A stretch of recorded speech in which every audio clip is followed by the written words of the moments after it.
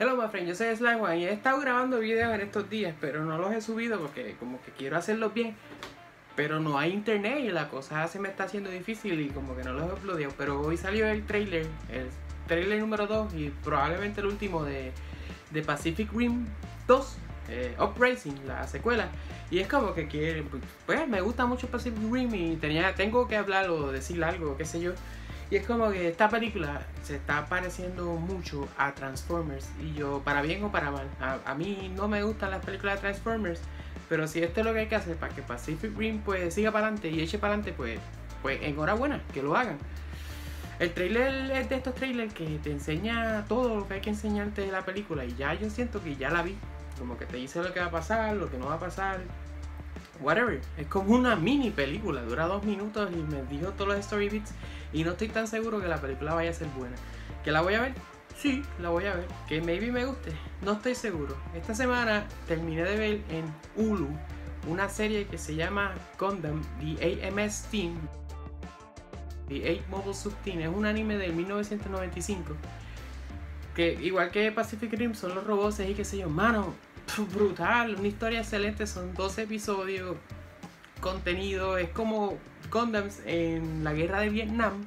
So, están estos robots gigantescos y bien modernos, pero restringidos a la tecnología de la guerra de Vietnam y es en el sur este de Asia. Eh, imagínate Vietnam War con robots. Y eso es una historia bien nítida y bien cool.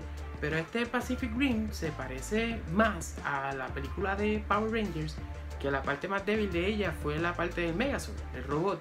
Entonces, también a Transformers que no hay parte fuerte, todo es débil, porque las películas de Transformers no me gustan. No estoy diciendo que son malas, no son para mí, no, no las entiendo, no sé cuál es el appeal de estas películas.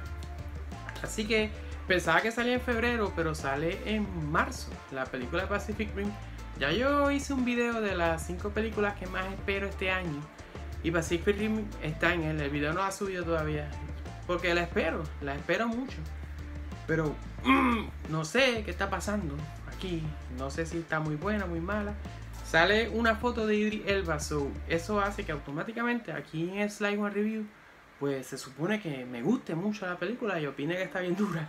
Pero si es una foto, no sé si eso cuenta como requisito para tener las 5 estrellas de, o los 5 Idris Elba, que es el, el galardón más alto que yo puedo darle en este canal de YouTube y realmente el único galardón aquí, porque a mí no me gusta ponerle números a las películas ni nada de eso, eso no hace sentido. Eh, te gusta o no te gusta y ya, no hay entre medio. Eh, tú decides la que hay y no yo.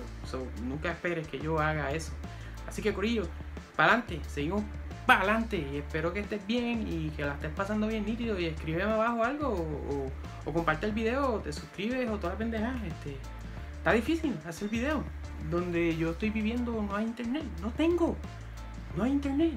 Y entonces, T-Mobile no tira buena cobertura por casa. So, what are we doing here? Este, chao Corillo, Pacific Rim 2, pronto, marzo, vamos para adelante, duro.